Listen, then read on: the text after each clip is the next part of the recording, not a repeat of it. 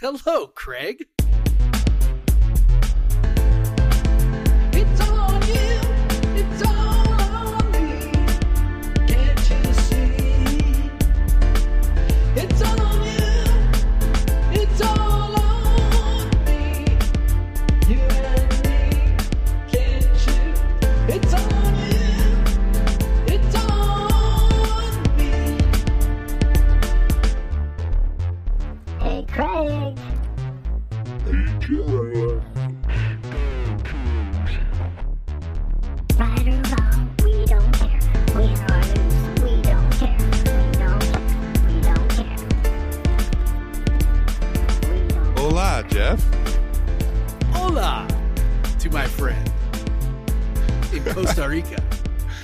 Costa Rica. Coming, This coming is, to this you is live. the magic of the internet, man. The magic of the internet, of Al Gore's internet machine. We are however many thousands of miles apart, and yet, and yet, here we are. Here we are. Like if um if if uh if it was light out, you know, but Costa Rica the it gets dark pretty early actually, although it is pretty late. Thirty or so or it's eleven thirty right now. But like you could see a beautiful lake out off of our like I'm sitting on this veranda of this house we're staying at um that uh Amanda's mom booked and it, it's uh uh you know a, a beautiful place for sure you know we're like in the middle of the rainforest it's been raining like constantly but also they have these uh thermal pools that we've been in so like you're sitting in 105 110 whatever degrees but it's raining but you're like i'm fine because i'm warm. Like you're just in a giant Right. hot tub basically.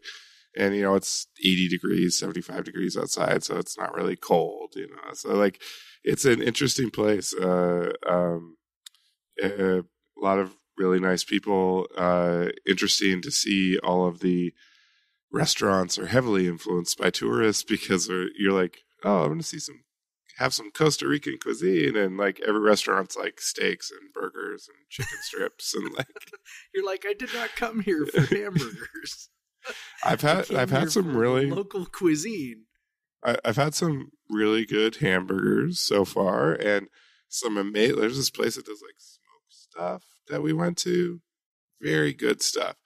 Not the true like the the the like the tico typical is like rice and beans, like fried plant- plantain stuff like that, uh, and like a queso, like a, just a, like a soft white cheese, things like that. But like I, I think like they're quite influenced. You know, tourism's so heavy here. Like you you get steaks and burgers. I mean, the steaks are really good here. I, I'll give them that. But like, it's kind of kind of wild. But like, yeah, we're we're close to the Arenal volcano, uh, and we're, then we're going down to the to the coast uh, tomorrow. Um, but yeah, we're if we would, I could see Lake Arenal if if it wasn't dark. But it, it's a beautiful place. Um, and so I'd highly recommend anyone who's not been to Costa Rica. It's a great place. Uh, we stayed at a, a thermal resort for the last couple of days, and that was really cool. And um, yeah, just hanging out in the pools and stuff. Uh, it was particularly cool last night because our children weren't there with us. They were they stayed with the grandparents back at the house, and so uh, not having to care about what the two tiny humans are doing for like 24 hours is pretty great. Um, but yeah, uh, yeah, yeah, but yeah. So that's where I am at, Costa Rica. Um, yeah. and this is uh but even uh, even despite that we are still recording uh episode 188 of podcast versus everyone i am craig powers with me as usual is jeff Nusser and uh jeff uh as far as the men's basketball team goes man i don't not Yeah. not exactly the most ideal of weekends like i think we can finally No. we can finally we can finally put the the final the final nail in that at large Yes. coffin. Like that is at large Yes. bid.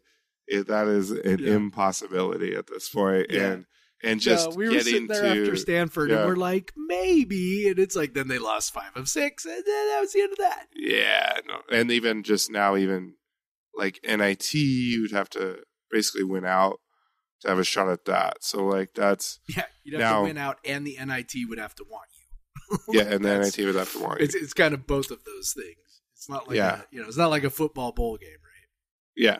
So that's where we're at. Uh, you know, the USC game's frustrating because it was a much closer game than the the score Yes. what ended Yes. up being. Uh, you know, I was I was like getting on the plane in the last two minutes of the game, and it was a three point game when I was getting on the plane, and then I got on the plane and, and I looked at my phone, and it it was like eighty to seventy. I was like, "What the fuck happened?" Like, you know, like, Yeah. Uh, but they were right there. You know, they were right there the whole game. It was, and, and they they had a chance, and it just, you know, it it, it it it's great. Like both the games this weekend, the defense after we the start the strides the defense had taken recently, um, the defense really really like let them down in the last Yeah. two week to these last two games, which is a bummer.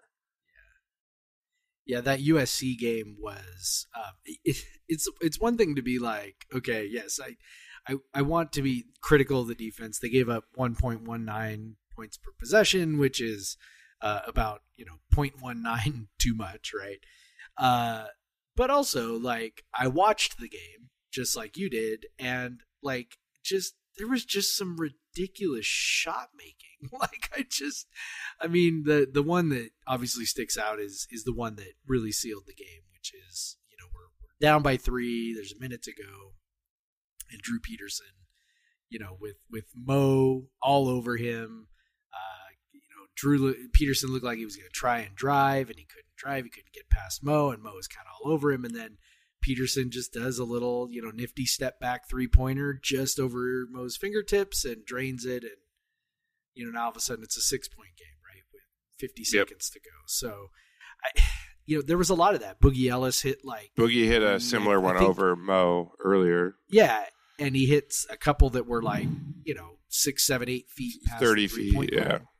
You know, Just- I mean, he just, I mean, he was one of six you- from really he was one of that. six from two, and he still ended up with Right. twenty three and five points and, from and a, a one one twenty one offensive rating. Like it's What an asshole.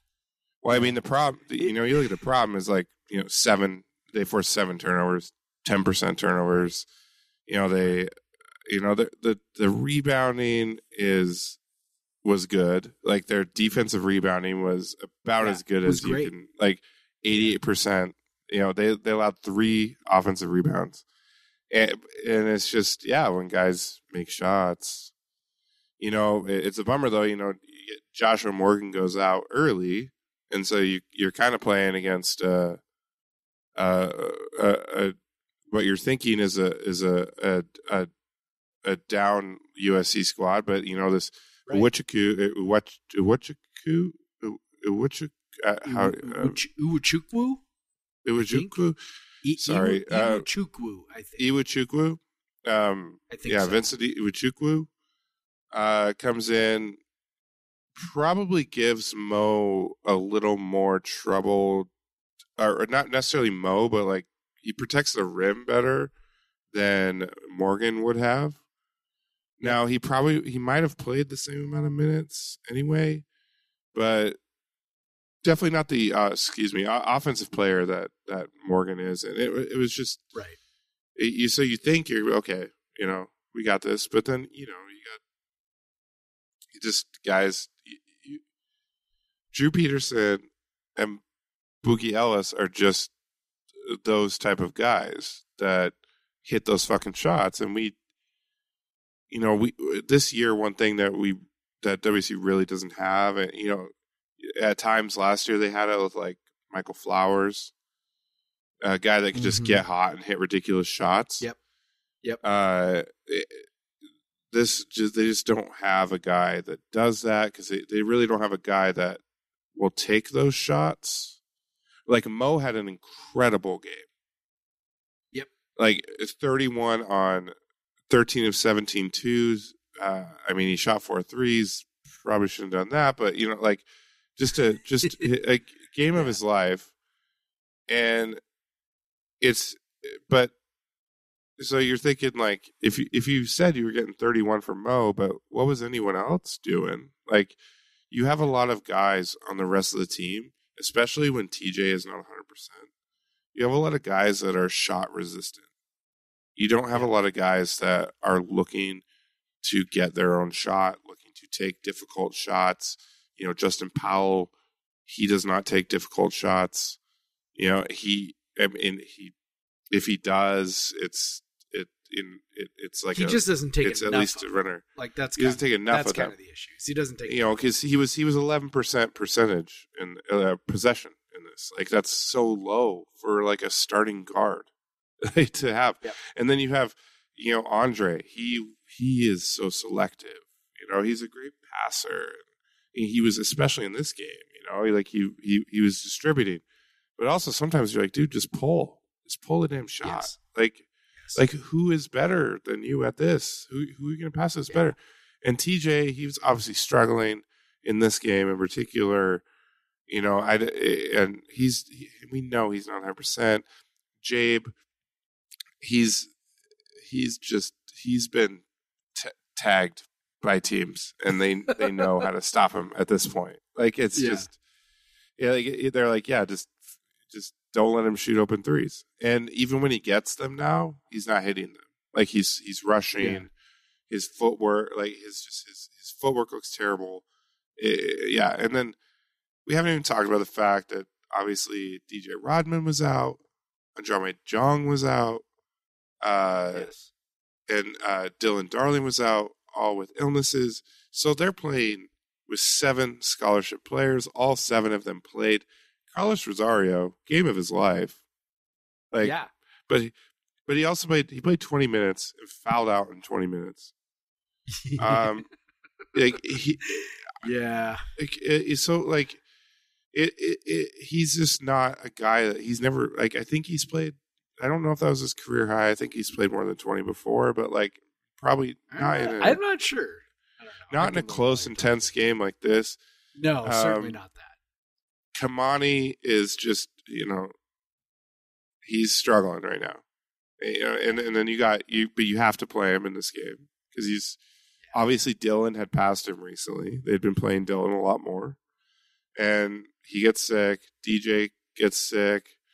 Um, you know, DJ's one guy that has been taking a few more shots recently. He's not Yeah. there, Well, and and, and so, I think that's so- where you really I think that's where you really missed him, right? Like the defense matters. Obviously the defense matters a lot and and Kyle Smith noted on his coach's show that DJ was the primary defender on Drew Peterson last time um and and played him really well.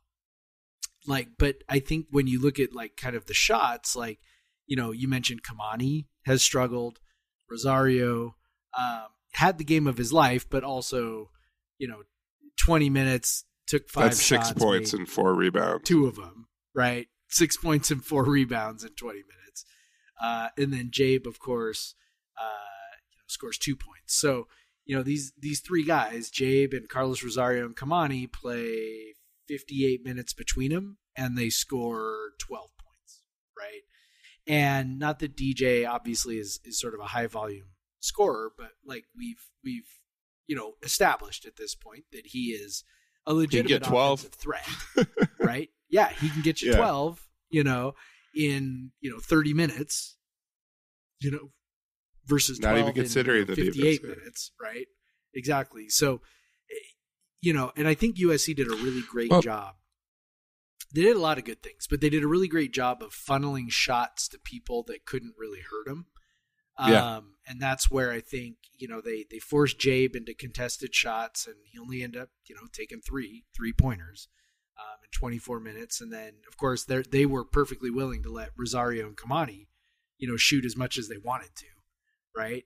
And and it worked, and it worked, and that's where I think if you have DJ, you know he's taken up at least those 20 minutes of Rosario, uh, you know maybe even taking some of those minutes from Jabe and all of a sudden you're like, okay, you know, now you've got someone who's who's a little bit more of a uh, so, someone USC's probably not as uh, eager to let shoot. So yeah, they they really And- missed DJ. The sickness was was huge, and you know they they kind of you know they ran out of gas at the end a little bit. I think. And and you look at it you're like, how is it a 20 point swing from Pullman? Well, in Pullman, Drew Peterson was, you know, he had 16 points on seven of 16. Boogie had 12 on five of 11. You know, like those guys just weren't hitting ridiculous shots. They they actually had 1.09 in that game though. Like USC still scored a bunch on us the first time, but WSU was at 1.25. You had Jabe hit four of six from three. You had Justin hit four of seven from three. DJ was three of six. He had 16 points in that game. Like just those things. Like it's clear that we have a hard time defending USC. Like if you look at the two game sample, uh, but the difference was WSU just didn't score as much this time as they did last time. I mean, it's it's hard to defend a team that makes that just makes shots. Like I mean, like Drew that is their Peterson. Drew Peterson and Boogie Ellis are two of like they may be the two best difficult shot makers in the conference. Like they're I think that's I think that's legit. like Drew Peterson makes the most insane like shots that anyone outside of Dirk Nowitzki like does like has never like these one legged fadeaways and he's six foot nine and like it, and he's playing the three and he's always got like a six seven guy guarding him or a six six guy and it's just Yep. like but or he even had a seven footer on him and he still hits that one foot and he hits and he's so good at that like these it's not like crazy that he hits his shots it's not like crazy that boogie hits these shots like they're they're shot makers that's what they do and, and like and and sometimes you just get on the wrong end of it and it sucks that it happens in in in a game like this where you're like really hoping they could you know keep the faint hopes of something alive you know but but yeah you know it's just it's it's the same shit over and over again this season like guys are always missing and it has a ripple effect like jabe wasn't going to start jabe wasn't going to play 24 minutes uh you know like and if if if dj is not guarding drew peterson andre is guarding drew peterson that means andre is not playing interior defense which he's normally playing which is he's become very good at Yep. so like it, every, it, it just it's a ripple effect down the line offensively and defensively and just just knowing you only have seven scholarship guys going to a game like that's rough like mo is a 6'11 center 6'11 centers aren't Yep. supposed to play 38 minutes like that's that's not a No, thing they are like not. like 6'11 centers play 30 minutes a game typically and mo's playing like starting point guard playmaker minutes like that's that's crazy and and and, and he just yeah, for him just to not to have minutes as Justin you know, you- you- is- you don't- you don't- you- Yeah, and you don't have Dylan coming in for 10, 15 minutes to guard the point of attack. Yep. You know, give Boogie, make Boogie work work a little harder. Um, Yep. You know, I know he's short, but he's he's just has a he motor. would have been all, a you know, to him. Yeah, he would have. Yeah, been he would. Yeah, and he would have used you know used his fouls a bit, and maybe just bother him just enough that he doesn't feel confident shooting that thirty fucking footer and burying it. You know, like whatever. You know, and and so like it all has ripple effects. It all it all matters. Like you can be like, you know, I saw this like tweet from like a a better guy, and he's like, the only one that matters of that three is is DJ. No, those fucking ten minutes that Adrame would have played would have mattered in this game. Like Yes. defensively, They we would have mattered a lot. We know we've looked at the fucking plus minus. They are way better defensively when Adrame is on the floor. Well, and they hit fifty five percent of their twos.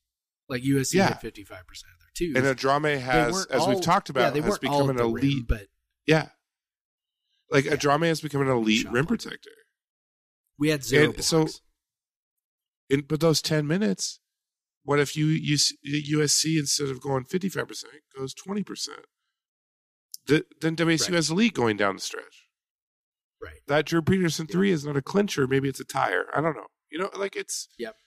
like I mean, Trey White this- this- especially was was was really good in that. I mean, he hit six of eight twos. Uh, Peterson obviously was five of seven on twos, but a lot of those were jumpers. Trey White, But like Trey White, was like getting to the you rim. get a he's really you got a good. he's using that athleticism. Like, but you got you get Adrame in there protecting the rim with the same level of athleticism. Yep. You know, it's it's it's you know, and we just we know Mo. He's just not really interested in that. Like right now, he's just not. a rim protector. Like it's just not a thing. And you look at the starting lineup. If Mo's not protecting the rim, then no one's protecting the rim. Like, and and and if Andre's guarding the six nine three, like, look Yeah. then It just what's left in the lineup? Yeah, like it so it's just everything off. and so it's just the fucking luck of this team, like all all year. Like you just oh, just can't. You just not like you're never gonna have your guys. Like, and we already know they already uh, uh, off the jump are missing two scholarship players, and then so many of the games they've been missing one to three more. Like it's just so fucking frustrating. The season is just beyond frustrating. I can't even imagine the coaches and players how they feel. And but like, and and as a fan, it's just like, what the fuck are we supposed to do? Like a college team cannot endure this much like attrition, like constantly. You know, just constant. It's certainly not attrition. WSU. And then you come back Like, against UCLA, and you get those guys just- back, but they're not really bad, right? Like Yeah, it's it's not DJ's just not back. yeah, it's not just college basketball. It's it's WSU in particular, right? Like like okay, we're already down to and you know, we keep saying this over and over, but we're already down to guys from the start of the season and then you know, losing more guys. Lose, I mean, it's just it's you know, it's whatever. And like you said, I mean, it, you know, That's they- how you go play games. UCLA. You're playing on the road against a team Yeah. that you've already beaten, and you have seven scholarship players. Yes. And then And- you got to go play UCLA. You do get one guy back. You get Adrame back, but it's like I He mean, plays one minute. You, you know, well, first of all, you're playing. uh Yeah, plays. You know, he just plays like a minute. He's he's clearly not healthy, right? And then you know you're you're going to this next game with Powell and Gay having played 38 minutes, Andre having played 32, TJ played 32. Um, I mean, you rode those guys real hard against UCLA, and then or against USC, and then you put in the fact that we literally never win at UCLA. Not literally, but like two times, I think, right? Three times, something like that in the entire history of the series, I think. And so, Yep. um, you know, I was kind of joking on Twitter with And also, Uh, UCLA is really Twitter- fucking good. Yes, that too. You know, I was on Twitter, uh, guy named Equity Bruin, who who's on Twitter. Yeah. Um, Yeah. But yeah, he's a good him dude, well. and he's he's kind of yeah, he's fun to interact with. Um, and he was like legit nervous about the game, and I'm like, dude, you have nothing to worry about. like, I know that was like such a like, like I feel bad saying stuff like that, but he I'm kept also saying, like, like, I, he's I, like, WSU is going he's like, to I can't, bel- UCLA. I can't believe is gonna beat UCLA is favored by 11, and I'm like, that's UCLA should be favored by 25. Like, I don't know what you're talking about.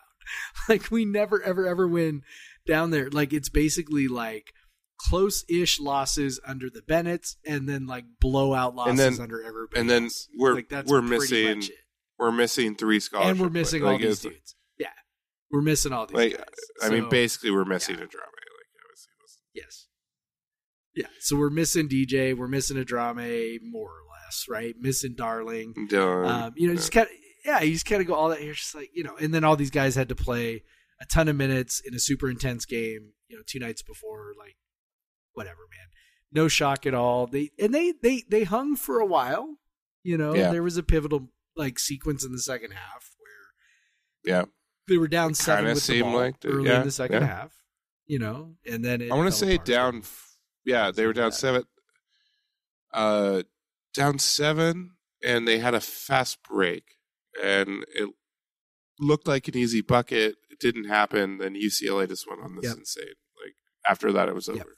Like they Yep. could have cut it to five. They didn't. Of course, if you look at the win probability chart on KenPom, they never had a chance to begin with, or at any point. I know. That's that's why I just don't read. I don't know. I don't know about you. I don't read anything into it. Like I just go, you know, we always lose at UCLA. Ten points, twenty five points, thirty five points. Honestly, just don't kind of don't give a shit. Like we never win there anyway. And as you said, UCLA is really, really, really, really, really fucking good. And I know people get like they get tricked into thinking teams actually aren't that good because they lost a couple of games. And it's like, no, no, UCLA is so much better than everybody else in the conference, and it's not even actually very close. And I don't know what it's going to be at the end of the year, but I would not be shocked if UCLA ends up winning the conference by by a couple of games. Like I think they're a half game up on Arizona right now. Arizona I think has three losses. They've got two, but it's like, it's they are so good. They are and they are being you know really criminally underrated by our fans in terms of what happened. I think our fans looked at we almost beat them in Pullman. How are we going to lose to them in twenty four down there? Like I like I don't know. Like I think this is how people think. Um, UCLA kinda UCLA's played really like- fucking good. kind of played like shit in that game. Like like honestly, Yeah, like they didn't play great.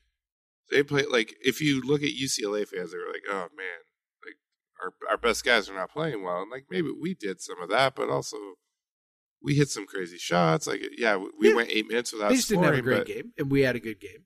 You know, there and that, and, you know we had, but it's yeah, we it would have been nice if they would have finished that one off, but you know this season is just we have a a, a win over a top ten KenPom team on the road, and then it's just like what the fuck, man, Yeah. like um and but you know what uh WC's played the most difficult Pac-12 schedule uh up to this point by and I, I think shot. we've talked we've we've talked enough about the UCLA game. It doesn't fucking matter, right? Like it. Uh, who cares? Like uh, yeah, uh, yeah. Pow- we don't need we don't need time. It, Powell- just, it is Powell it and- is.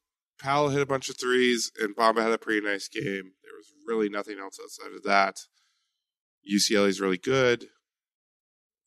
WSU was down scholarship players. Um, if if if you could find me a WSU team with seven and a half scholarship players that can go down and beat UC, a top five UCLA team, uh, yeah, uh, that that would be the Yeah, first. WSU team in history. Good Um, luck. uh, so yeah, like WSU has. Uh, let me look at KenPom. Yes, most difficult schedule. Obviously, Washington number two so far. Um, both have went five and nine against that. So we got Washington coming up this weekend, and and you know that's obviously a big game. It always is. But Jeff, I there's there's like a there's like one more reason why it might be a big game. I I'm trying to Hmm. think. I don't, hold on. Let me scratch Hmm. my lower calf for Let's a see. second. I have a bug bite Yeah. down there. Hmm. Um, Lower calf, maybe even your yeah. Achilles. yeah. Oh yeah. Yeah. Oh yeah. Yeah. Oh, that's right. Yeah. The Yeah, there's this guy named Noah Williams. The return, The return of Noah Williams. the return of Noah Williams. Who ha who I, like we know what he can do um on the top end. And I feel that in my Achilles literally right now. But we also know that last season and this season he's been pretty shitty. Yeah, And and the funny thing is, uh, like he, he left WSU. Obviously, I don't think anyone tried to stop him. Um, Nope. I don't think anyone wanted him to go nope. to Kyle UW. Smith made that. Kyle Smith made that pretty darn clear this week on his coach's show that it was a it Exactly. was a extremely mutual decision. Extremely mutual. Yeah.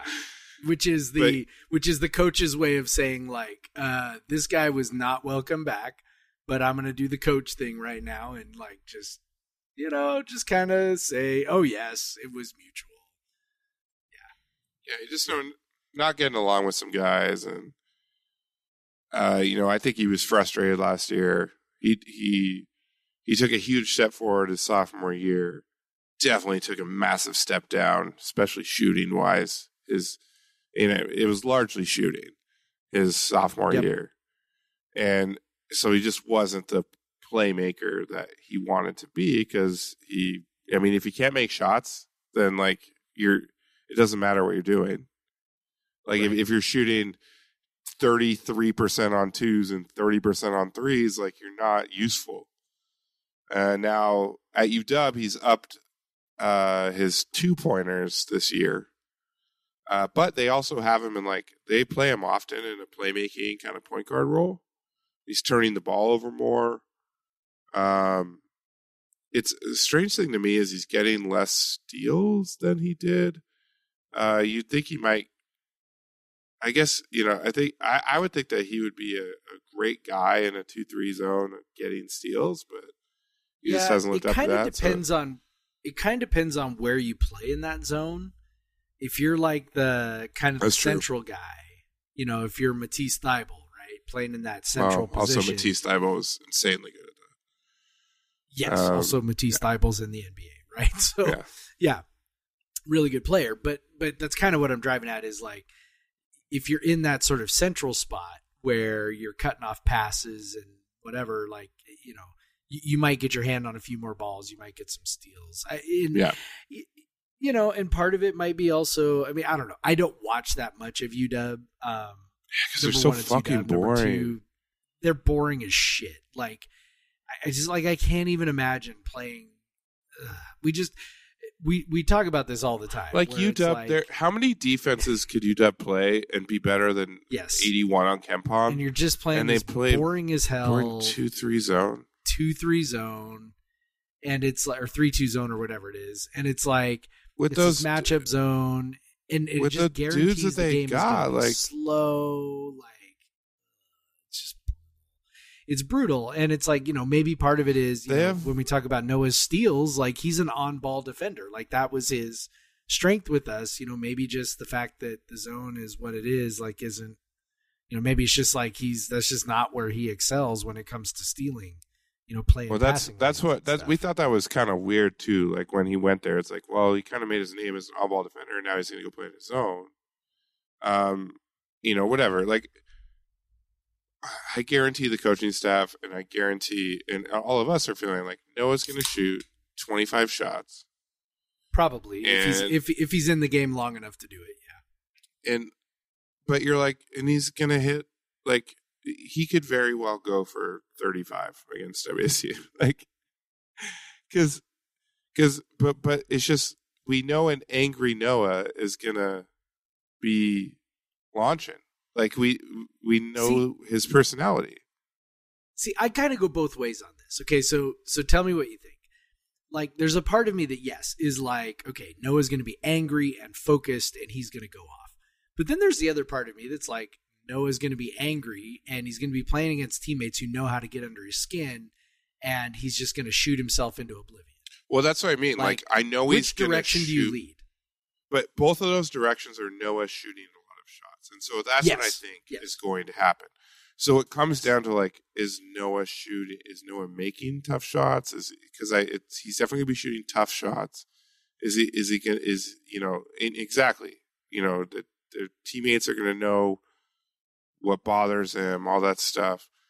Um, but like, is he making those shots? Like I I think that's why I think like anyone he's going to come in. He's already a pretty high shot, like a, a pretty high usage player for UW.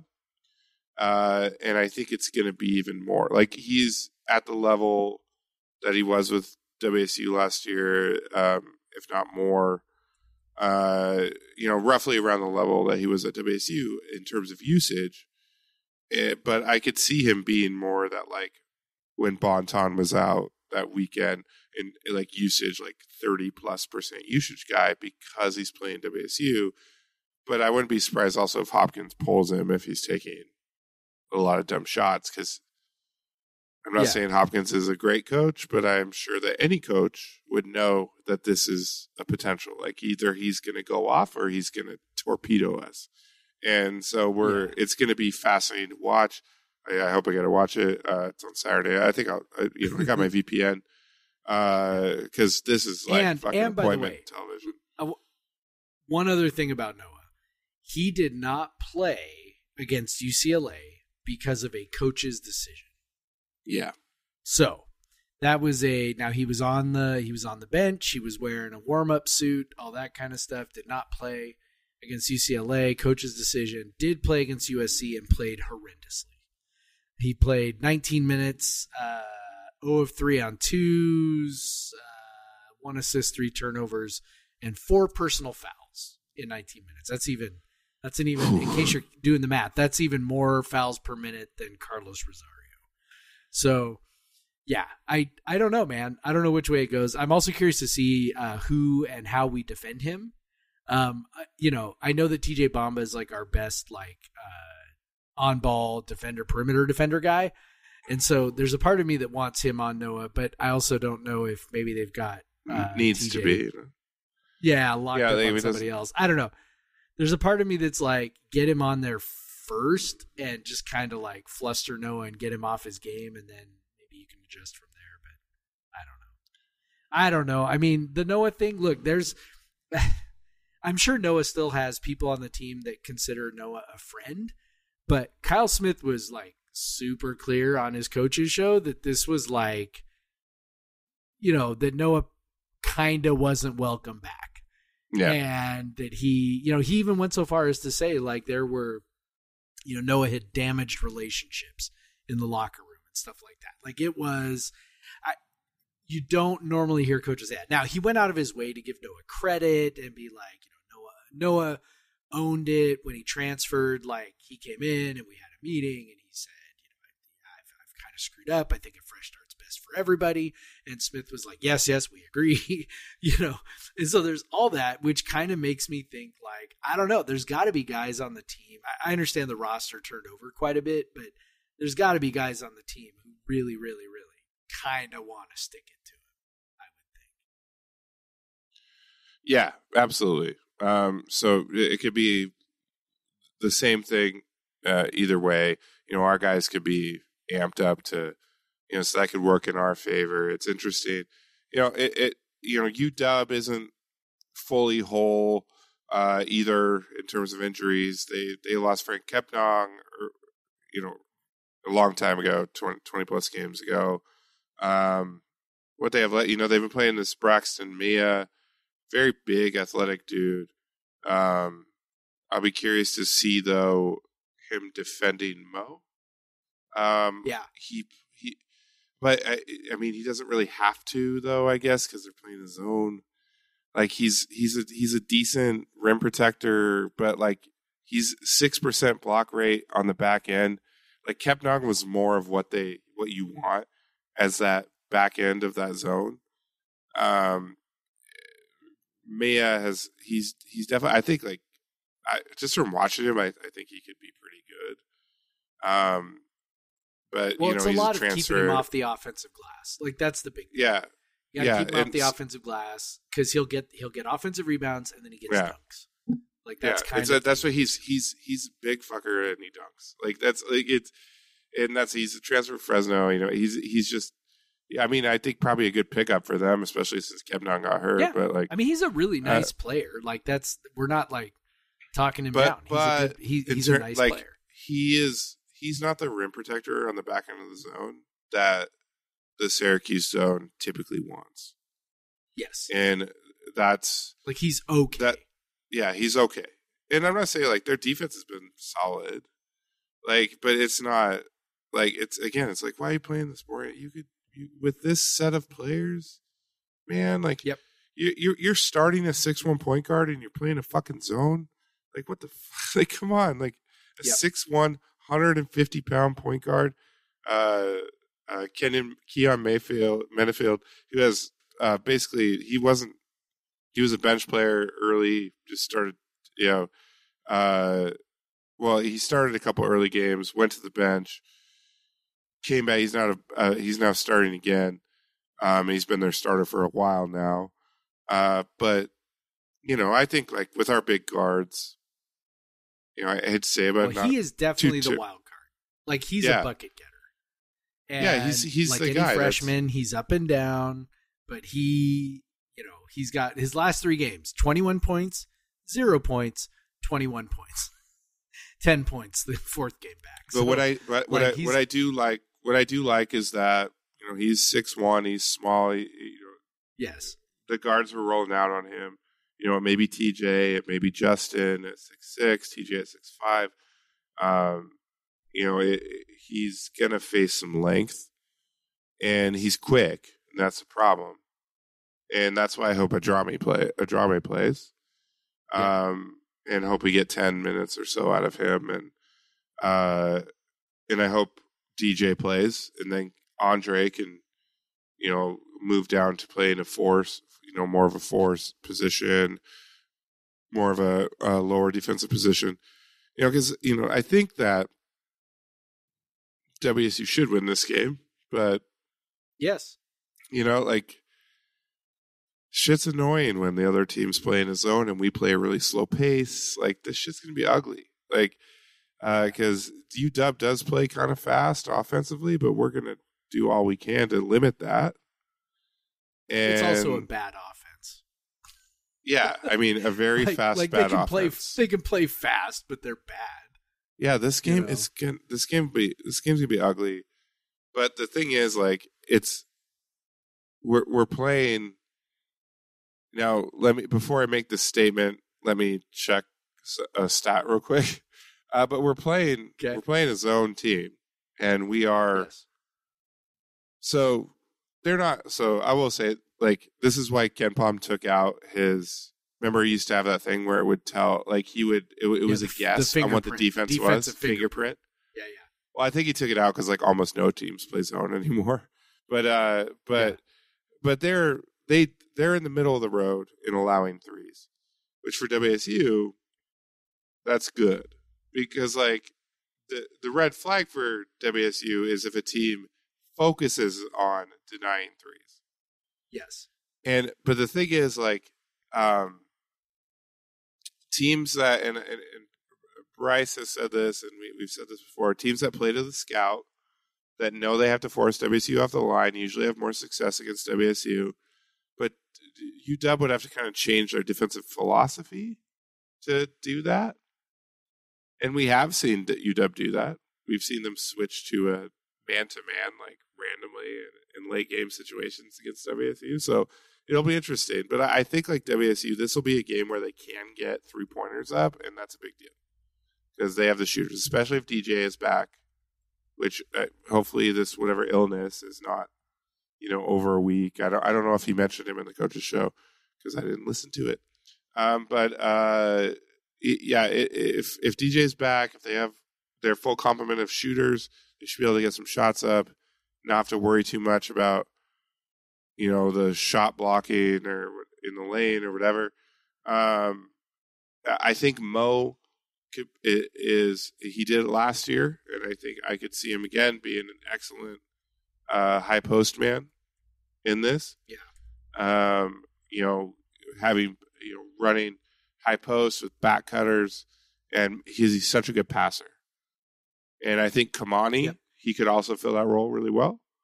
And Yep. so I think we have guys that could that could punish a zone, and I, I hope they do that. You know, because we got shooters, we got a great we got a great point forward type guy, point center type guy.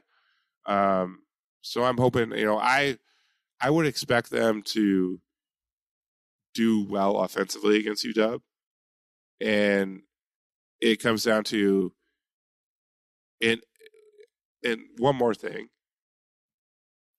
Jeff. What are zone defenses most terrible at above anything? Defensive rebounding. And what is like one of the most important things parts of WSU's offense? Yeah. Offensive rebounding. So this is literally like shoot the fucking threes and then let Mo and whoever else go Yeah, get boards. just let Mo it's go just eat. Like, yeah, like I I think the offense is going to be fine in this game, and I think I that do too. and so and I think that they can shut him down defensively as long as Mister Williams doesn't Barring decide to some make kind every of shot. crazy Noah or Menifield. Menifield's honestly the guy who worries me. I do. Like, I I also, know yeah, that-. Honestly, this is why I hope Dylan is back. Like I, Yeah. because I, I Well, think like Smith made Dylan. it sound like everybody was going to be back. Yeah. So I that, could that see if- everything was going to be back to normal. if if we're getting roasted off the dribble by Minifield, they'll put Dylan in, and Yep. Minifield, Merrifield, Merrifield, Minifield, Menefield. Menifield. Menifield. Uh, it, he uh, he doesn't have any sort of height advantage over Dylan. So like, it's not like it's not like that issue here that we Right. were was killing us last year. Dylan's a great on ball defender, so I, hopefully they can use him uh, to slow him down. And if they do, like, there's not a lot of other guys that create their shots. Not a lot of other guys that are making shots for them. Uh, Keion Brooks has been good. Um, but and he'll he'll shoot a lot. Yeah. Uh, but I mean, I also just- think it's worth. I was gonna say, I think it's worth noting, like the defense until the last, you know, few games had been really, really good for a while, and the badness just happens to correspond with playing some really good teams. You And- know, and and Washington W- is definitely not a really Washing- good team. Washington's weaknesses, which are many on offense, uh, Yes, they they they match well with WSU's strengths. And sorry about my slowness; it's twelve. Uh, it's past midnight here, um, and I've been drinking all day.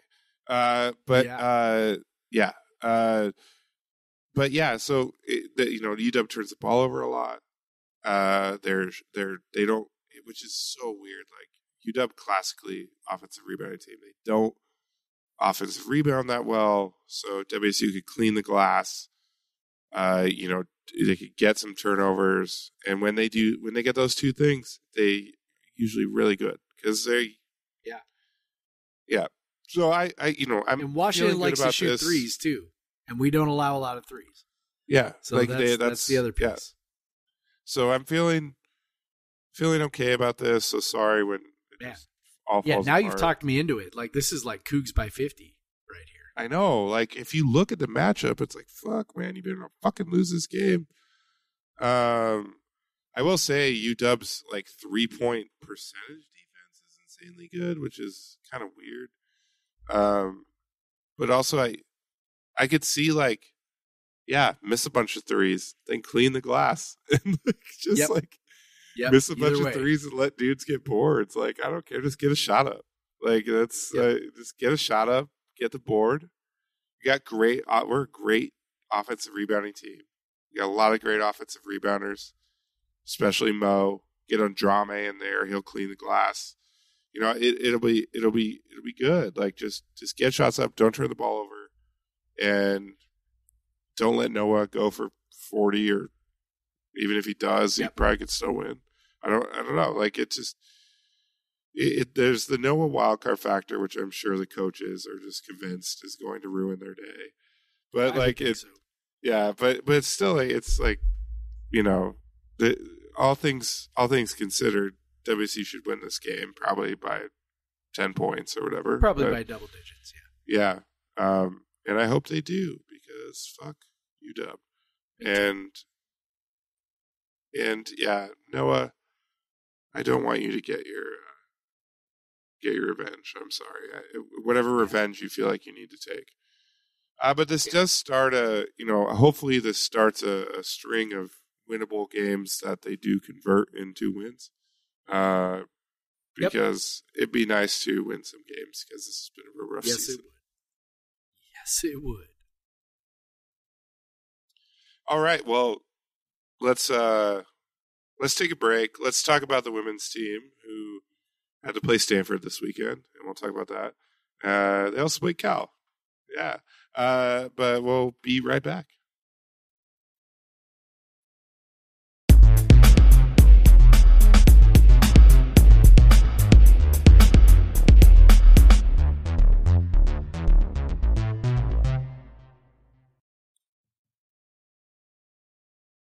And we're back.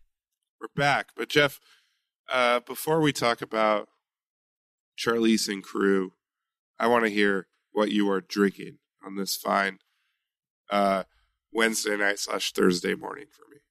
Yeah. Uh, I am drinking the same things, the same uninteresting things I was drinking last week. Uh, so I still got that. I still got some Bodhi in the fridge, and I have now moved on to the Rogers Pilsner. Uh, so that's uh, that's what I'm drinking.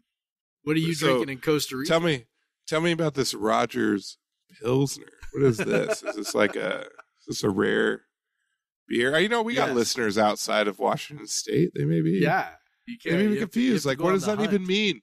What does that even mean? Rogers Pilsner. You didn't even say what brewery it was, Jeff. I, I know Georgetown, Georgetown Brewing, just like last week. If you listened to the show last week, yeah, I've moved on to the Rogers Pilsner. We are uh, And what we do are you enjoying what do you ourselves now. what do you think of that Rogers Pilsner? Yeah, it's delicious. It's great. I love it. Way to go, Roger. It's a good. It's a Good job on your Pilsner. I don't even know who Roger is, but good job, buddy. Well done. Neither do I. How about Right. you, man? His Pilsner is good. I've had it lots of times. Uh, I are am drinking I got Costa a couple, Rica? I'm I got I'm double fisting right now. I had, I had to have a couple Costa Rican beverages. I definitely drank. I, I drank some. I drank some uh, Costa Rica craft beer earlier today, but that was like at the resort, and it was at a restaurant we were at for dinner. Um, those were good. There were some good ones. There were some not so good ones. Overall, though, they get they have some they have craft beer in Costa Rica, and I've tried it, and it is all right. Uh, but right now, I have in one I have one one hand I have Imperial Silver. Imperial's like the like the Budweiser of Costa Rica. like it's like the big Mm. brewery. And silver is like yummy. they're they're intentionally less flavored beer. So it's like a lighter flavor of the regular Imperial. And let me tell you, it delivers on that promise because when it is hot, you just you don't want to taste your beer, you just want it to taste like cold. And which is also hard sometimes in Costa Rica. So this beer cold when it's hot, hell yeah. Um, right now, it's been sitting out for a bit. I've been drinking on it. It tastes like a shitty lager. Yeah. I also have my other hand, not a beer, but uh, uh, a local uh, Costa Rican uh, hard alcohol, sugarcane alcohol, not rum, uh, called Guaro. And I, I have been drinking a uh, a mix of like 50 50 with some Coke and some Guaro. It's very sweet, but right now I'm going to take a live pull off of the bottle of Guaro and then tell you how that tastes. Uh, woo! Ugh. Ah. It's not as sweet. I mean, it is definitely sweet, but um, yeah, not something I recommend just having it by itself. I think it's a good mix, a good mixer. The Guaro, uh, yeah. So uh, Guaro, uh, sugarcane alcohol, and Imperial silver. Um, I've also today, I believe, I started my day alcohol wise. We we kind of we had to kill some alcohol that we had in our hotel room that we stayed at for the last two nights. So uh, I I had I had like a, a local IPA that was not very good. Um, and I will say for the first time, I opened a bottle of beer with my wedding ring, which uh, one of my uncles taught me way back in the day. So I was very happy, very happy to put that skill into effect. Like, because we were like, it was weird because they had in the mini bar, they had bottles that required a bottle opener, but they didn't like, but we had bought other, you know, beer to bring in, and but they didn't have a bottle opener in the room. And I was like, so because, but when I saw the mini bar when I went to get beer, I bought the bottles because I assumed they would have a bottle opener since they have bottles that require that, but they did not. Um, so we were sitting there. We had like two beers left. We're about to go down to the pools, check out of our room, and go down to the pools. Uh, I was like, well, let's let's just kill these beers off. No reason to like take them and let them get warm or whatever, and maybe break in the bag or whatever. And so I'm just like, well, I remember back in the day, one of my uncles taught me. He showed me with his wedding ring, he could pop balls off. And so I put my wedding ring on my right index finger, my strong hand, and I popped the caps off. It does work. It worked very well. Um, and so Good we drank, drank. I drank. The, we drank a couple IPAs. They were fine. And then you know this went on through the day. Uh, when we went down to the pool, uh, we had you know we had some leftover tequila we had to burn through. A couple other, you know, whatever. And then went down the pool. Pina colada. Uh, you know, Cuba Libre, which is rum and coke. It's just rum and coke with lime. Like it's, but it's more fun to say Cuba Libre. You know, you know things like that. Uh, a margarita all those fun things, just drinking constantly all day long. Uh, and lots of good stuff. Lots of some not great stuff, but some good stuff. But you know, it's it's I'm on vacation and and I'm and I'm podcasting and you guys are having a good time listening to it. I'm sure. But anyway, so that's the drinking update for me. Uh, let's talk about the women's basketball team, which I swear to God, there is no team that gets up more to play WSU in any sport more than Stanford gets up to play WSU women's basketball because Stanford has so never true.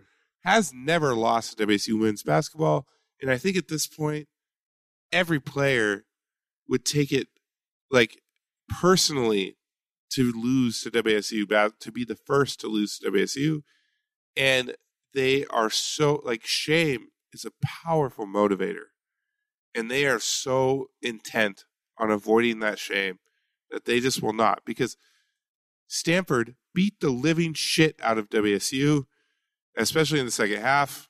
uh, Yeah. uh, 71 to 38, and then went and fucking lost to UW, which is not a very good team. Like, like UW is not a great team. They're like around 100, I think, and nah, maybe they're more now. Not a team you would expect to beat a top five team like anytime. And, but but like but they just absolutely obliterate well, they're not better than us. Like, They're definitely like not. we are a better team. you know. definitely not like 40 points better. It like it's just like I swear Stanford is just like we will not lose these. Like they take like like it's like their national championship when they play and they play in literal national championships. It's like their national championship when they play WSU and they're like no, you will not beat us. And Yeah. Yeah, they couldn't like WSU again. you know Tara VanDerveer doesn't let him forget it. Like you know, you know Yeah, that like, entire week 70 of practice. She's like, we like, are 70 like, you oh know, we've never team. lost to them, right? You She's like, I've never lost this right?" team. This program has never lost this team. You better not fucking lose this team. Yep, Like, you know that. but- is. Yeah, and, and goddamn, man, like the way how well this team has been playing to lose like that to like, there's not yeah, that big of a, a bummer. there's not that big of a distance between these two teams. You know, like, uh, but it's just like they just they just they just and and really it was you know that they st- you know they started uh, you know WSU hits hits a three to go up three nothing and then can't score again. Uh, Stanford always had you know I, I think Charlisse has if you look at all of her worst games like they're against Stanford generally. Um, So they focus really well, and, and they have the athletes to uh, to focus on bothering her. And you know, so she had you know eight points, which is not. I mean, she only took thirteen shots, which is not a lot for Char- Charlisse. And you know, Yep. WC's fourteen of fifty six. They're three of twenty from three. You know, it's just uh, just they couldn't do what they wanted to do, and that sucked. But in fairness, like you, I mean, you kind of write those Stanford games off as loss. Now you hate when they look like this because that probably hurts a bit, like in terms of Yes, committee eyes. Uh, but to come back and take care of business, it's Cal is a big deal.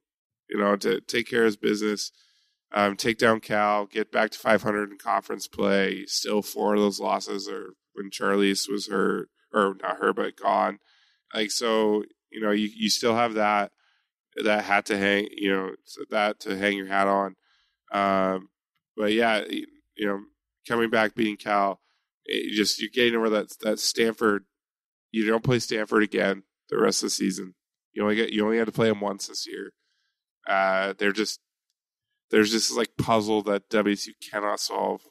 You know, they they beat Arizona on the road, they beat Oregon on the road, they've beaten UCLA in, the, in recent years, and like you know they they they contended with UCLA uh, with without Charlisse, but then you're like, how how are we? We're not 33 points worse than Stanford, but it's just it's just Stanford. Something's weird about it. But, you know, they they go on the road this weekend, uh, Colorado and Utah. You know, they they sh- you know again with Charlisse, they probably should have beaten Utah and Colorado at home. Uh, both you know both teams that they easily could have beaten uh, at home. Um, so you know, and both these both these games are are huge, huge, huge. If if you split this weekend, huge for NCAA tournament possibilities. Utah is a seventh seventh in net. Colorado is twenty one. So getting a win out of either of these games would be huge. And they, without Charlisse, again, contended with these teams, should have beaten probably both of them at home. So, does w, can beat these teams? Yes. Uh, and if they do, you know, I think it's one of those weekends where you can be helped a lot more than you can be hurt. Like if they lose both these games, but they come back and they uh, they beat the Oregons at home and and maybe uh, beat USC to finish out the season. They're probably good, I think. But uh, if they get a win, one of these on the road, you got to think like their resume is pretty pretty solid as long as they take care of business the rest of the way. Like it, Yeah, like just so. and and what's in their favor is this team has been so fucking good on the road, like so good. Yes. Like what are they eight and one? They've beaten or like I said, they've beaten Oregon, they've beaten Arizona. Like so, I wouldn't be surprised if they got one or both of these. Like they're that they're good enough. Like you gotta wipe that Stanford game out of your mind. But like I, this team and we talked about like they're they're different. Like they're different. They got players beyond Charlisse, and and I and if they can get one or two of these this weekend, that would just it, you would feel very very good about their NCAA tournament possibilities. I, you know, the game against Stanford was terrible. you know, obviously, like just in terms of uh, just the margin and non-competitiveness again. But they did come back against Cal, and it wasn't. You know, I mean, they just they. You just not that it was a surprise, right? Like this team is mentally tough, and they've they've been, um, you know, super resilient. But it's always good to see that mental toughness and Yeah. resilience, right? Like so they come back and they you know they play well and they win the game you know fairly easily. And it's just like yeah like not that i thought that getting you know blown out by stanford would like derail their season but it's also always nice to see that it didn't right? Like When you see You know, Charlisse come sitting- back with twenty five Yeah. points, five assists, five boards, Right. you know, like we could be sitting here right now if we played stanford on sunday going ah, you know is, does this linger? Is it going to be a problem no we already know it's not. We already know it's not because they've already played a game and they won that game. And you know so feel pretty good about that. And uh you know i i tend to think you know I, I know there's still a fair amount of season left to play you know really about a month but you know i tend to think that this team is already you know barring something uh stupid you know that they've already done enough to get in the tournament. Um you know as long as they just kind of do what they should do over this last month or so um that they should be in. But uh you know again you just you know like you kind of said you know you got to make sure that you know you beat the teams that you kind of should beat or maybe maybe can beat um, in order to to secure to secure that spot and don't don't give the you know the committee a reason to not you know Yeah, I guess so. you know, you got to think like the, the Arizona and Oregon road wins are kind of up there with uh, the home wins they had in previous seasons. Yep. Uh, Yep. To you know, to kind of you know, because Arizona's twenty six and that Oregon's nineteen. You know, in previous seasons they had like a top ten home win, but like you know, a, a, a top twenty road win is generally more difficult than a you know a, a home win over a top 10 team uh so but again they could they could add one more they, they could add one or two Yeah. more to the resume this weekend and i think they're fully capable and i'm sure i'm sure this team is really excited to play these teams with Charlisse with uh, Yes. full and, and with and with uh, with Tuhina with Astera Tuhina like so like Yeah. to have their full uh, squad to play them you know when they were close the first time uh, with with players out. Uh, it, it, it'll be interesting. Obviously, it's a you know just as it is in, in in men's hoops, it's a tough road trip always. because you know the teams are so spread out, the elevations are high. But WSU has gotten wins on this road trip before. Uh, the women's team has, and you know the women's team has actually won in Boulder before. Uh, so I, I could see him doing it again. So uh, that that would be huge. Just get one win this weekend would be huge. Two, I think you're you're there, and you're you're you're more thinking about like where the seeding is going to be, like versus Yep. if you're on any sort of bubble. You know, if you get two Yep. wins this weekend. Yep. And if you could beat Utah, I think, like you said, you're just sort of like, yeah, okay. I'm not sure it really matters what you do the rest of the season. It is a tough finish to the season, right? Like, uh, part of that is the Pac-12 is just so damn good, you Yeah. know, right? Because you so you go at Colorado, at Utah, then you got Oregon and Oregon State at home, and you know, both Yeah, so those are ba- so- tough games, So you have and then you, you, you have at so UCLA at USC. So Yeah, in terms of net, so you have I said already Colorado 21, Utah 7. Uh and then Oregon 19, Oregon State uh is 56 and then you have UCLA which is 27, USC which I cannot find. Maybe they're pretty low. I don't know. so, Mm, they surged quite a bit after beating us uh, up in Pullman. Yeah. So they're not listed as maybe they're not listed as USC on the Southern try- I California. I- Search for I- Southern California. Okay. Yeah, there we go. They're 28. So, so yeah, like you, you- that that road trip to LA, you got uh two, you know, top 30 teams, 27, 28. So that's you know they every every game left is tough for them. Like it's the the worst team in terms of net is Oregon State at 56. Everyone else is 7, 19, uh, 21. Or, or I'm sorry, 21, 7, 19, uh, 27, and 28. Like that's which the the thing there is like there's a lot of opportunities for huge wins, but also if you finish the season with like seven straight losses, that ain't good either. like so, it's like Right. I this team's good enough to get, you know, to finish this season, you know, to finish that stretch. They're good enough to finish that stretch. But how many games is it? One, two, three, four, five, six. They're good enough to finish that stretch three and three or four and two. And if they do either of those things, three and three, four and two, they're easily in the tournament. Even if they go two and four, I think they're in the tournament. So uh we'll see how it goes. I think this team is special. I wouldn't be surprised if they at least get one of these this weekend, and it'll be it'll Yep. be fun to follow. So. Especially with Charlisse rounding, you know, back into form. That's that's Yep. the big thing. Exactly, exactly. Awesome, dude. Um, well, it is uh, twelve thirty in Costa Rica.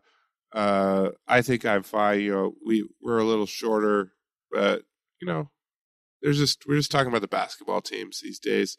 Uh, I think I'm fine with like cutting this down. Uh, if you want, if you listen to this and you liked it, even if you don't like it, subscribe. Subscribe on whatever your service is.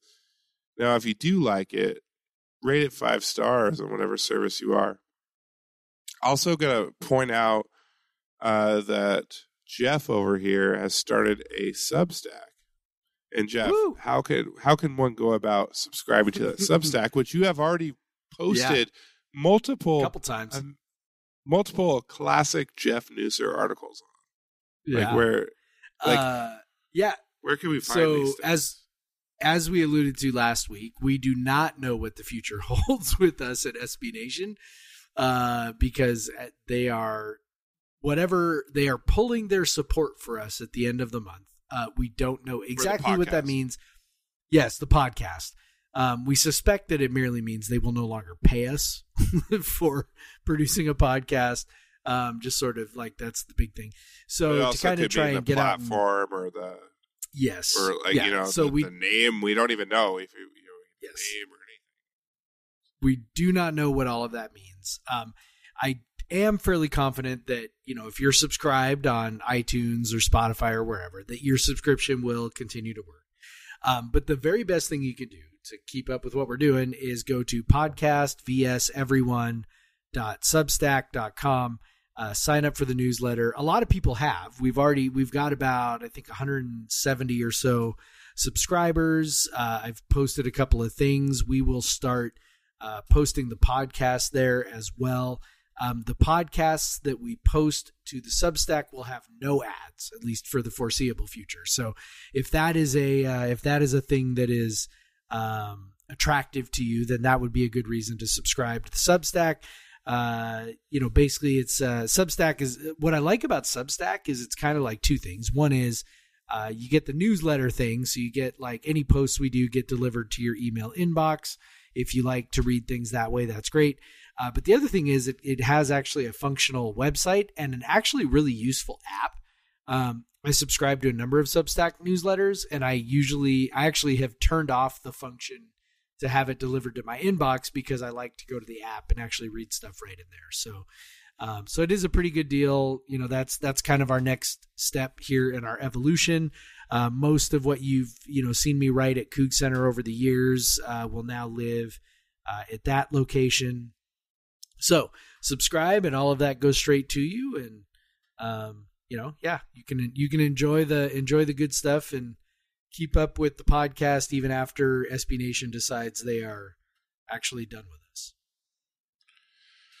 Yes, and and we just we have no control over that. Like we, it's just it's just Nope. happening. Uh, this is and Yep. honestly, this has been shit that's been in the works for a long time. If you've been following it, um, uh, a very a very a very lack of uh, attention being paid to the sports part of Vox, um, or uh, just maybe uh, you could even say a, a a level of disdain for the part of the part You might the, say the very the very part that started Vox in the first place.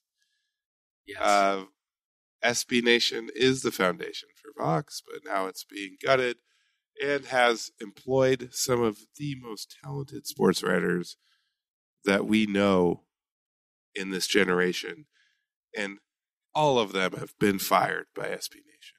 So cool. Uh, yeah, they're pulling the plug. We don't give a fuck anymore.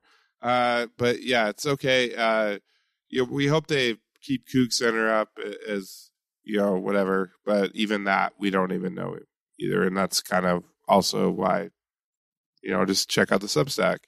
Uh, but also keep following CougCenter. We have some great writers there who are doing some awesome stuff. Um, and where whatever happens, we'll make sure that they have a place to keep writing in the future. Yep. Uh, so because we uh, actually genuinely love all those people, like they are all our good friends. So, uh, Yes, but yeah, so uh, again, whatever, man. This this shit's annoying. Uh, I it's it sucks when people have to ruin a good thing, but it's so much out of our out of our control, uh, and in the in the minds of people who think they're smarter than, than other people are. Uh, but yeah, so I'm gonna stop now. Uh, but yeah, you, I don't know, man. You can follow me on Twitter. I'm at the Craig Powers. You can follow Jeff at Pod versus Everyone. Again, subscribe to the Substack. I think it will be a good way to get your Coug stuff, um, especially if you like Jeff's writing. And I might write there too. I don't know. I, I, let me ask Emma. She might get mad at me if I don't write for CougCenter. If I'm going to write something, get- yeah, we definitely got to get you right in there. Yeah, I should probably write. I haven't written in a while. That is busy, also true. I mean, I have written, just not for CougCenter. Uh, yeah, I gotta- I gotta get a- job. I, I got to get a job that doesn't require writing, and then I'll write more for my hobby, my hobby fun times. no doubt, Yeah, no doubt. but yeah, I I don't know. Uh, This is this this is went on longer than I thought. Anyway, so uh, thank you all for listening to my uh, unsober Costa Rican broadcast.